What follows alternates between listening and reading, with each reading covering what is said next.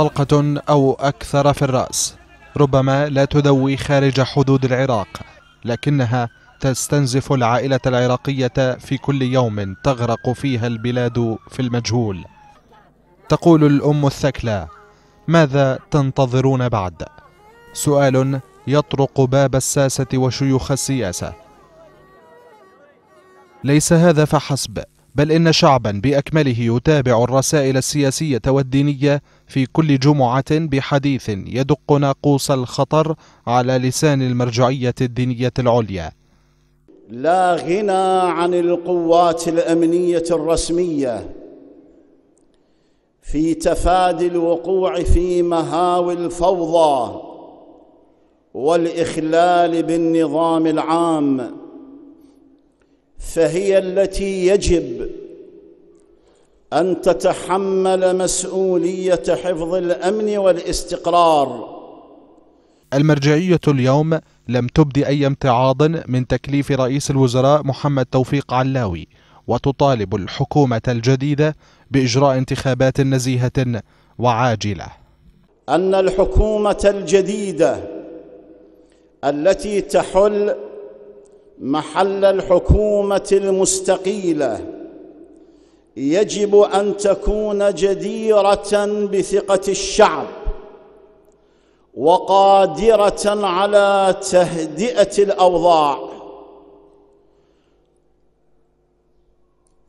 واستعادة هيبة الدولة والقيام بالخطوات الضرورية لإجراء انتخابات مبكرة على الرغم من النداءات المتكررة التي أطلقتها المرجعية الدينية حول ضرورة نبذ العنف والالتزام بسلمية التظاهرات وتنقية الحراك الشعبي المطالب بالإصلاح من الأعمال التي تضر بمصالح الناس وتفقده تضامن المواطنين وتعاطفهم.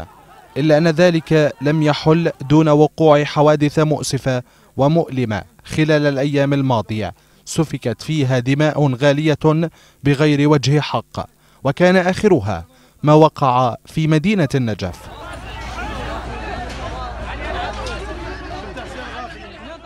وفي الوقت الذي تدين فيه المرجعية الدينية كل الاعتداءات والتجاوزات التي حصلت من أي جهة كانت فإنها تؤكد على ما سبق ما أشارت إليه في مناسبة أخرى من أنه لا غنى عن القوى الأمنية الرسمية من تفادي الوقوع في الفوضى. والالتزام بسلمية التظاهرات. على الساحة مؤخرا وفي كل ساعة تتجه المتغيرات نحو الأسوأ في ظل وعود حكومية لتحقيق مطالب المتظاهرين لكن الأمر أكبر من تحقيق مطالب من هم في الساحات. بل إن حالة الاحتقان والتوتر في مرحلة استمرار حتى تغيير النهج السياسي ووجه العراق كدولة يريد شعبها أن تخرج من التخريب والفقر والجوع.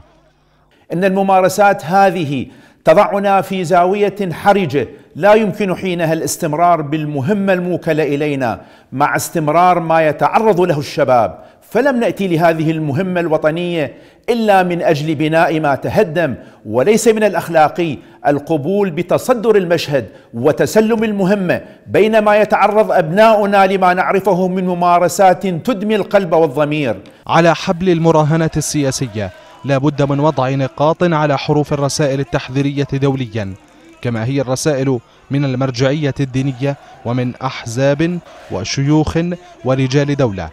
أمامكم فرصة أخيرة وإلا سيغرق العراق ولن يربح إلا الشامتون وقد يكون أقربهم جيران لا يريدون للعراق الأمان.